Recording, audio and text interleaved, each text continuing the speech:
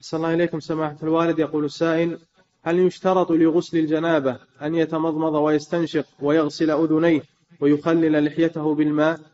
لا بد من تعميم الماء على جميع جسمه بما في ذلك المضمضة والاستنشاق. لا بد من المضمضة والاستنشاق في الطهارتين الوضوء وفي الاغتسال لأنهما من الوجه. واللحية أيضا إذا كانت خفيفة فلا بد من تبليغها بالماء ظاهرا وباطنا. وإذا كانت كثيفة ساترة للجلد فيكفي غسل ظاهرها ويخلل باطنها يستحب أن يخلل باطنها. نعم.